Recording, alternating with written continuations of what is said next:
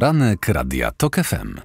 7.45 dochodzi. Gościem poranka jest pan minister Michał Boń, minister administracji i cyfryzacji. Dzień dobry, Ale dzień dobry państwu. Witam pana, ale spotykamy się mniej z powodu cyfryzacji dzisiaj, a bardziej z powodu, chociaż też z powodu cyfr, ale właściwie liczb.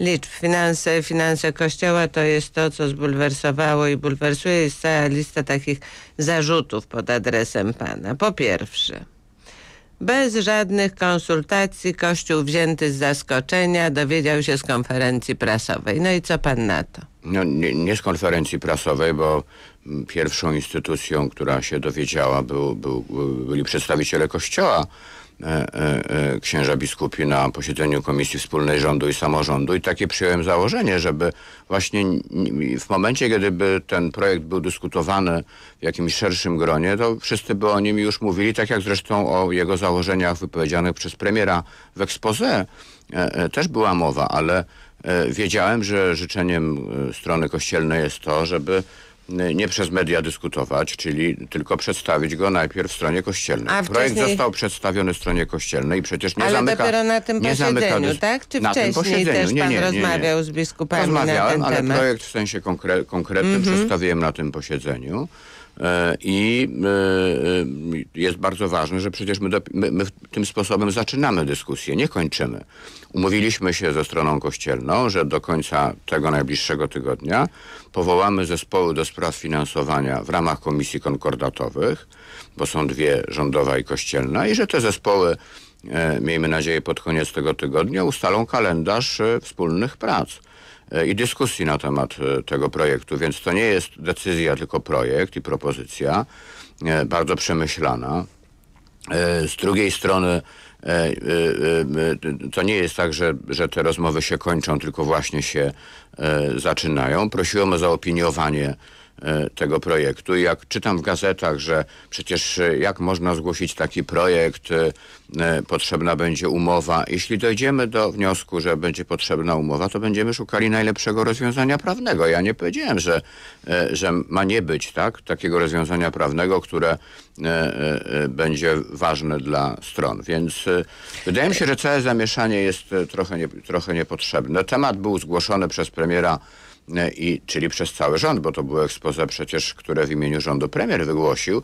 E, e, myślę, że znaleźliśmy nowoczesne obywatelskie rozwiązanie. Problemem jest na przykład to, co działo się następnego dnia, czyli spotkanie moje z przedstawicielami innych kościołów i wyznań. No tak, dlatego, bo one, że one mówią, są mniejsze że nie i one dość, że się to boją niekonstytucyjne, to że one jeszcze nie będą się miały to z znaczy, czego to, to czy utrzymać. konstytucyjne, czy nie, to zdecyduje forma e, porozumienia się, więc ja bym był ostrożny w mówieniu, że to jest niekonstytucyjne, skoro zaproponowałem ta- właśnie spotykanie ten się. argument już pada. No tak, tylko, tylko proszę, znaczy, bo to jest naciąganie. Jak ktoś mówi, że coś jest niekonstytucyjne, to bierze pod uwagę e, e, wyobrażenie, jak powinno być, ale nie sprawdza w tym momencie, czy ja przypadkiem nie idę właśnie taką drogą. No skoro zaproponowałem także tym mniejszym kościołom i wyznaniom bilateralne spotkania przez najbliższych e, e, miesiąc, bardzo dokładne, szczegółowe, żeby sprawdzić też, może nie tyle sprawdzić, że, żeby uzyskać od kościołów informacje na temat ich potrzeb i ich sytuacji. Być może rozwiązanie dla e, e, e,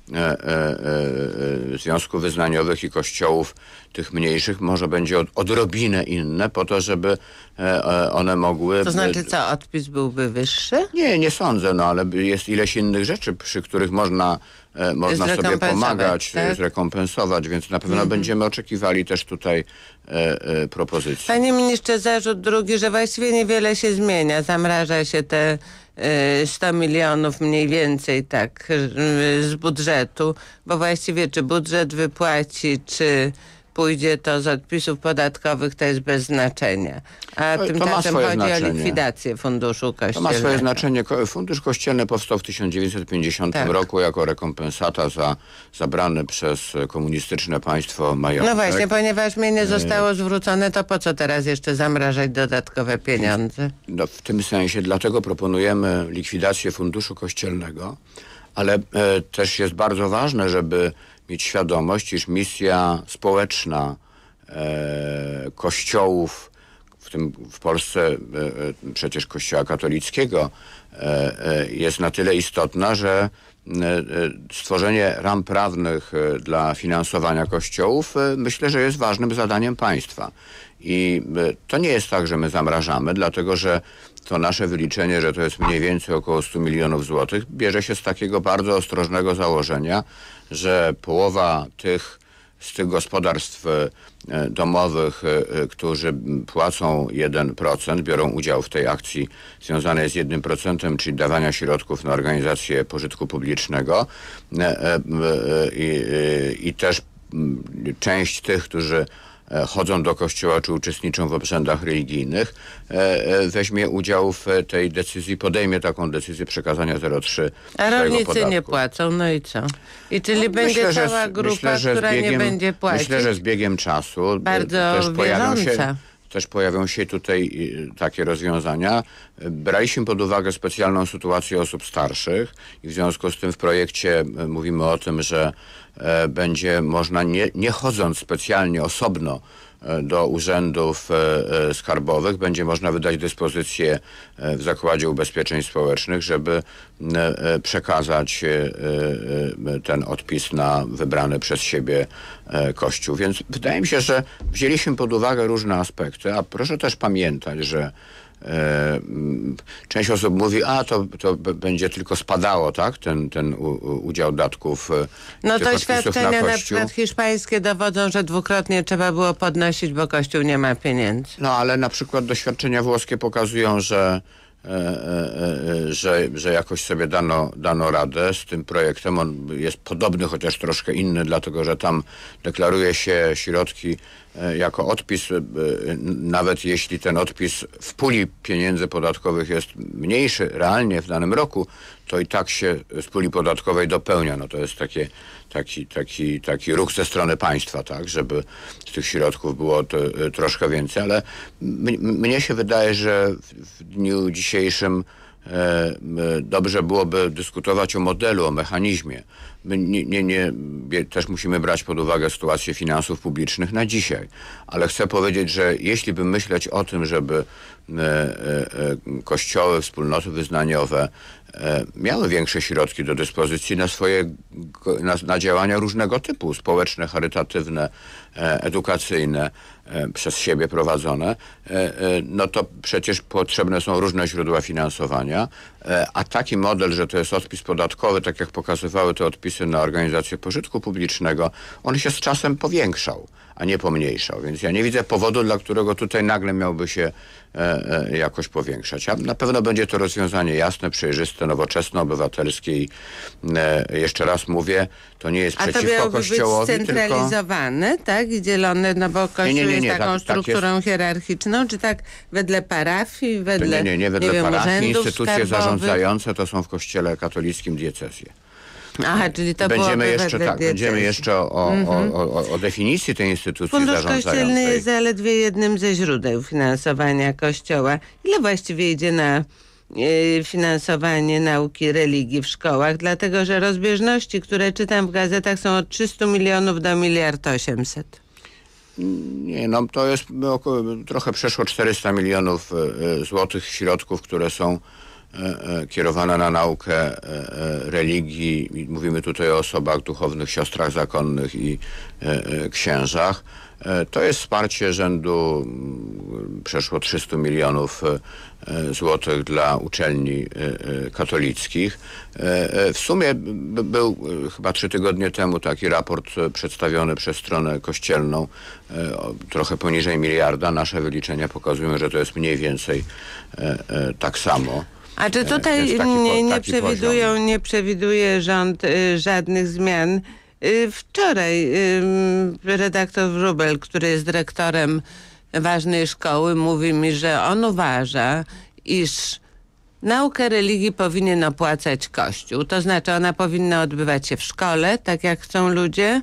Szkoła powinna dawać salę, bo rodzice nie chcą prowadzić uczniów do salek katechetycznych. Szkoła powinna ponosić koszty, ale już same lekcje religii, na których jakość dyrekcja szkoły nie ma żadnego wpływu i na zatrudnienie katechetów też nie ma wpływu, powinien opłacać Kościół. To są dwie ścieżki. Pierwsza taka, żeby powiedzieć, żeby szkoła miała wpływ, to znaczy, żeby też oceniała katechetów i takie dyskusje się toczą. I żeby jeszcze były oddzielne świadectwa z religii. E, A, a drugie rozwiązanie to jest takie, żeby użyczając tak, szkoły, no, bo to rzeczywiście jest łatwiej, e, e, e, i, i utrzymując e, w podstawie programowej, jak rozumiem, e, e, e, religię i etykę, by- żeby finansowanie wie, pochodziło że z ta innego etyka jest źródła. fikcjonalna. No nieprawda, bo przy tej okazji pytaliśmy coraz częściej, oczywiście, że łatwiej jest w wielkich miastach niż w innych miejscowościach, ale e, coraz częściej jest wybór i ten wybór jest dokonywany z pełną świadomością przez rodziców, przez dzieci. Natomiast mnie się wydaje, że e, ta jeden z, jedna z ważnych postaci polskiego kościoła podczas tego spotkania Komisji Wspólnej Rządu i Episkopatu e, e, e, powiedziała, że no, no to jest takie historyczne przedsięwzięcie, ta zmiana finansowania. I, I jeśli nam się uda, to tak naprawdę może być bardzo trudno osiągnąć wspólny rezultat, ale jeśli nam się uda, to będzie to miało kolosalne, olbrzymie znaczenie. Ja uważam, że trzeba małymi krokami iść dalej w sensie pozytywnym, to znaczy znaleźć to rozwiązanie. Jeśli mielibyśmy już ten nowy model finansowania, to wtedy można spytać, tak, i, i dyskutować, czy nie powinny dojść do tego inne rzeczy, ale wtedy oczywiście ten odpis musiałby być większy, tak, i e, e, e, wtedy rzeczywiście do tego obywatelskiego wyboru dochodziłby jeszcze taki czynnik, że prawdopodobnie rodzice mający dzieci decydowaliby się na to, żeby e, w większej skali e, e, e, finansować e, Kościół z jego różnymi zadaniami e, i, i, i różnorodną, e, różnorodnymi e, celami i tą misją społeczną e, i, i moralną, e, przekazując odpis podatkowy. Mi się wydaje, że jesteśmy na początku drogi, więc spieranie się o to, czy coś jest niekonstytucyjne, jeśli jest tylko projekt merytoryczny, założenia do projektu ustawy, bo to nie jest ustawa, tylko założenia do projektu ustawy. E, e, mówienie od początku, że coś jest nieuzgodnione. No z, kim ma być uzgodnione? Najważniejsze, żeby było uzgodnione z głównymi partnerami, to znaczy z Kościołem, z kościołami i związkami No ale widzi wyznaniowymi. pan, że z Więc zaczęliśmy... jest coraz gorzej. Nawet prymas Kowalczyk mówił, że kiedyś to opozycjoniści biegali do zakrystii i błagali Kościół Nie, o ja, pomoc. ja myślę, że a teraz zawsze na początku czegoś, umiaru, zawsze na początku czegoś nowego po, pojawia się pojawia się sz- szereg różnych e, wątpliwości, pytań. Ludzie dają wyraz swoim emocjom. E, Ja uważam, że przebieg spotkania Komisji Wspólnej Rządu i Samorządu był bardzo dobry i e, e, wytyczyliśmy pewną ścieżkę postępowania. Ja dzisiaj będę występował z pismem do ministra spraw zagranicznych o zmiany w tym zespole do spraw finansowania Komisji Konkordatowej po stronie rządowej, bo uważam, że on musi być, ta grupa musi być zaktualizowana. Sam będę brał udział w tych To rozmowach. ministra spraw zagranicznych. Ponieważ minister spraw zagranicznych odpowiada za komisję konkordatową i za konkordat. A, za konkordat. Mówię o, mhm. o, o, o, o, o, o, tych, e, o takich proceduralnych rzeczach, mhm. tak? Ale staramy się właśnie iść taką drogą, która by e, e, która by pozwalała nam osiągnąć Czyli e, te merytoryczne rozmowy, to kiedy one się mogą rozpocząć? Ja Bo myślę, że do taki, końca tego taki tygodnia. Na razie myślę, że do końca tego tygodnia powołamy te, te mam taką nadzieję, powołamy te grupy i w przyszłym tygodniu e, e, moglibyśmy rozpocząć już spotkania, czyli od 26 wyjaśniające wszystkie kwestie, a spotkania w, tych, w tym e, z mniejszymi kościołami po tym drugim, po tym dużym, które się odbyło, będą się odbywały już od połowy tego tygodnia, a w połowie kwietnia umówiliśmy się z przedstawicielami mniejszych kościołów i związków wyznaniowych na takie podsumowanie. Dochodzi ósma, mamy mało czasu, ale jeszcze jedno pytanie.